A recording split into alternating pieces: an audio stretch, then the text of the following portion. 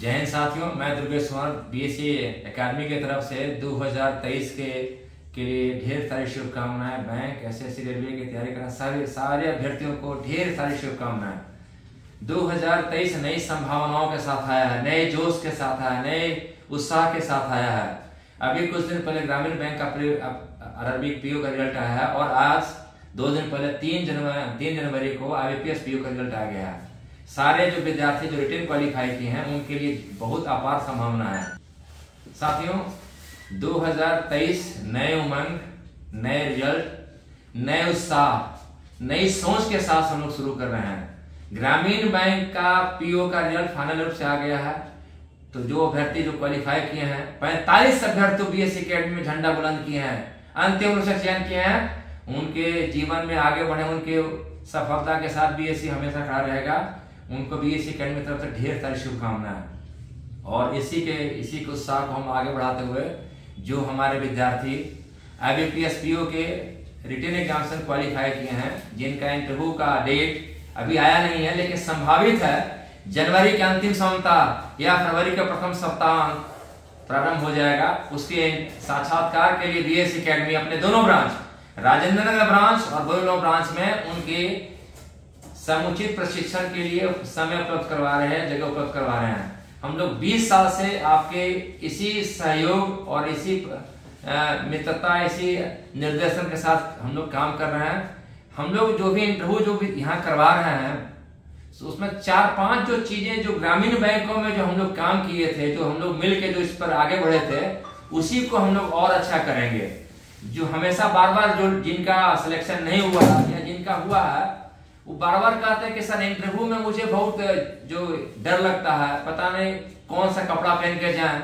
क्या पूछेगा? सब्जेक्ट से पूछेगा कि बैंकिंग से पूछेगा कि करेंट अफेयर्स पूछेगा। मानवर, डरना नहीं है, क्योंकि डर के आगे जीत है। हम लोग डर डर के क्यों तैयारी करें? हम लोग को डर से निकलना है। डर इसलिए लगता है कि हम अपनी तैयारी को ठीक तरीके से करते नहीं है।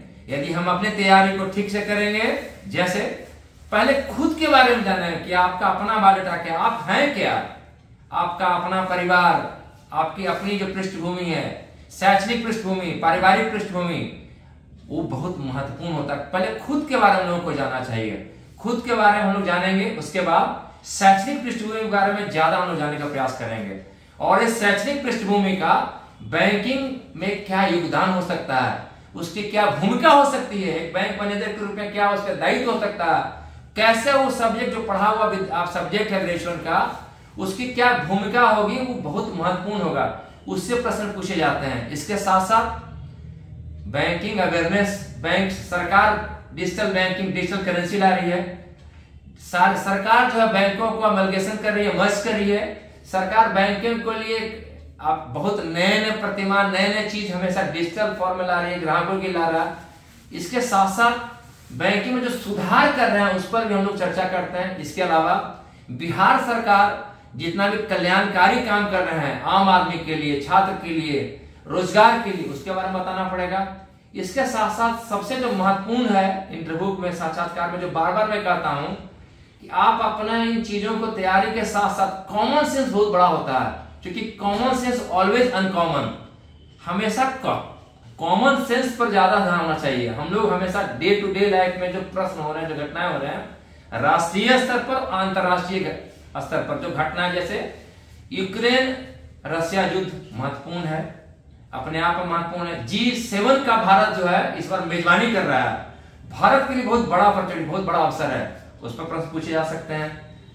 मेरा हमेशा नम्र निवेदन है सारे अभ्यर्थियों से कि 9 तारीख से हम लोग नया बैच शुरू कर रहे हैं। बोरिंगो ब्रांच में भी और राजेंद्र नगर में। सादर आमंत्रित हैं। हम लोग फिर वही जोश, वही उत्साह, वही तेवर के साथ मिलेंगे। धन्यवाद।